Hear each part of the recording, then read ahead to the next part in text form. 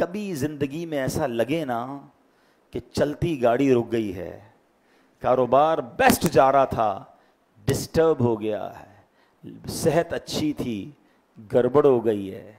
Family life बहुत खुशगवार थी tension में आ गई है। आपको लगे ना चीज़ें बिखर रही हैं तो चेक करो, किसी का दिल तो नहीं तोड़ दिया है। किसी की हाई तो नहीं ले ली है। किसी पर जुल्म तो नहीं कर दिया है। याद रखिएगा, ये तो नॉर्मल मुसलमान अगर उस पर जुल्म किया ना और वो मजलूम है तो उसकी पुकार अर्श तक जाती है। मजलूम बाज़ात बिगाड़ जालिम का कुछ नहीं सकता, मगर उसके पास अल्लाह का सहारा होता है। वो पंजाबी का एक जुमला है ना, मज़बूत आदमी से ना डरो, माड़े आदमी से डरो। माड़ा किसको कहते हैं? कमज़ोर। मैंने पूछा, यार, ये कमज़ोर से क्यों डरे भाई? बंदा तो मज़बूत से डरता है। कब मज़बूत तो अपना बदला खुद ले लेगा? जो माड़ा होगा ना कमज़ोर, वो अल्लाह की बारगाह में जब फरियाद करेगा ना तो फिर वहाँ से सज़ा आएगी, वहाँ से बदला आएगा।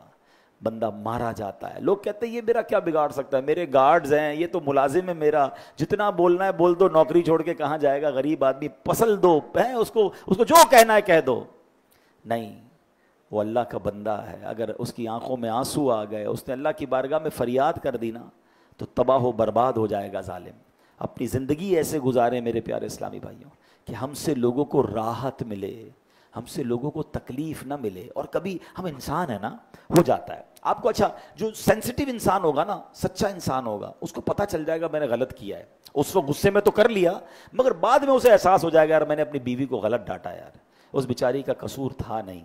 खामा कहीं अपने बच्चे पे गुस्सा उतार दिया, कारोबार में डाउन मार्केट थी, इसमें बच्चे का क्या कसूर था, है? खामा कहीं मैंने अपने मुलाजिम को बुरा भला कह दिया। खामा कहीं में गरीब आदमी जा रहा था, ठेले वाला, मैंने इससे लड़ाई कर ली। वेटर से लड़ते हैं। आजकल तो बड़ी वीडियोस भी वायरल हो रही हैं। पुलिस वालों से लोग लड़ रहे हैं। बेचारे पूरा दिन धूप में खड़े हैं। आपको रोक रहे हैं, वो अपनी ड्यूटी सर अंजाम दे रहे हैं। उनको गालियाँ दे रहे हैं, उनको बुरा भला कह रहे हैं? ठीक है, मैं ये नहीं कहता सारे पुलिस वाले अच्छे हैं, मगर सारे गलत भी तो नहीं है।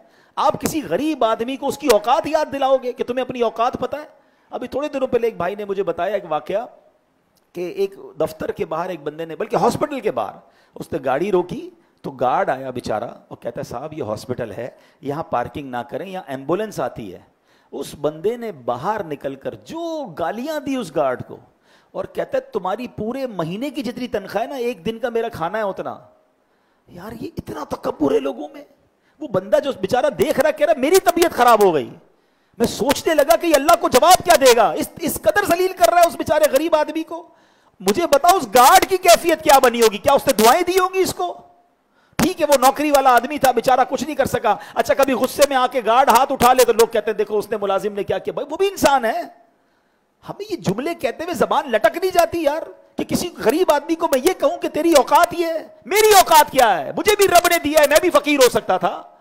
ये जितने लोग गाड़ी में घूमते सोचिए कभी कि हम जब गाड़ी सिग्नल पर खड़ी करते हैं, एक छोटा बच्चा आकर हमारी गाड़ी को साफ़ करता है, बेचारा पैसे माँगता है। कभी सोचा कि इसकी जगह मेरा बच्चा भी हो सकता था? मैंने ऐसा क्या कमाल किया कि अल्लाह ने मुझे गाड़ी वाला बना दिया? मैंने ऐसे क्या कमाल किया कि अल्लाह ने मुझे इतने अच्छे घर दे दिए और लोग झोपड़ियों में रहते हैं? ये सिर्फ़ मेरे रब की मेहरबानी है। खुदा की कसम, हमसे ज़्यादा अकलमंद, हमसे ज़्यादा होशियार लोग बेचारे गरीब हैं और अल्लाह ने हमें नवाज़ दिया।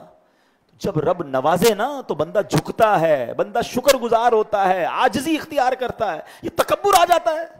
कितना दिल तोड़ते हैं लोग गरीबों का, सोचते नहीं है। कभी ज़िंदगी में ये काम मत कीजिएगा, बर्बाद हो जाएँगे। किसी गरीब की हाई लग गई ना, अल्लाह